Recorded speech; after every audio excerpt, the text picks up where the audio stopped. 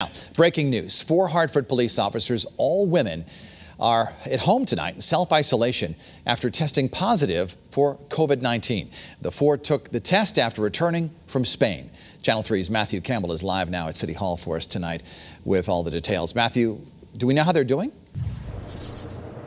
Uh, yes, Dennis, right now all four are at home. They are recovering. A fifth officer, though, is awaiting results of a test. Now, all of this, like you mentioned, happened after these officers came back from Spain. Now, when they went, the country was not considered a high risk area, but just to be safe, when they returned, they self quarantined and got tested.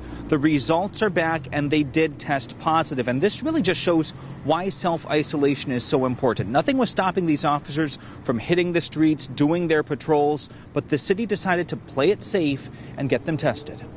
We instructed those officers not to report for duty for 14 days, and we're very glad that we did.